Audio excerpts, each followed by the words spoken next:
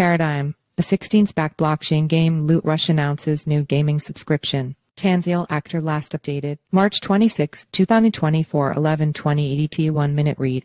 LootRush, a blockchain startup backed by venture capital firms Paradigm and Andreessen Horowitz 16th is announcing a new gaming subscription which allows its users to access non-fungible tokens NFTs from over 500 games on its platform from today. San Francisco-based LootRush was launched in May 2022 and is a crypto gaming platform that allows users to enjoy any game through NFT rentals. In an announcement, LootRush said through its new subscription its users will be able to access NFTs that are not in its inventory. Other perks include rental discounts and premium support via Discord. The game allows NFT holders to monetize their assets on the platform. LootRush supports multiple blockchains, including Ethereum's mainnet Ronin, Avalanche Arbitrum, Coinbase's Base Network, and Polygon. A standout feature of LootRush subscriptions is the flexibility it affords users, allowing them to request almost any NFT and have it available for gameplay within 24 hours. This ensures a diverse gaming experience, even with rare or less readily available assets, said Anderson Ferminiano, Loot Rush's CEO, in a press release. Golden Ticket allows users to try a bunch of games. The new subscription is described as a golden ticket by the CEO,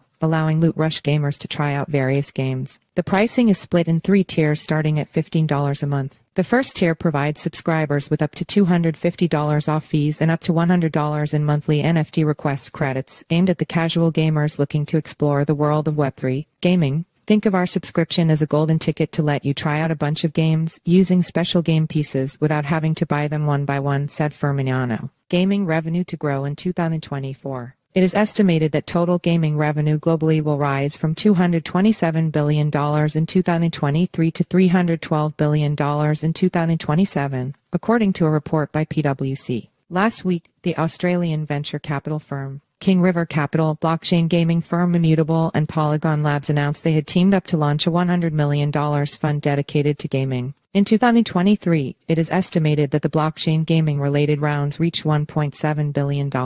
Data from Messari, a crypto market intelligence firm, it is estimated that the combined market share of Immutable and Polygon Labs is to be 70% of total. Blockchain gaming development, following a significant growth year for the entire industry. Follow us on Google News.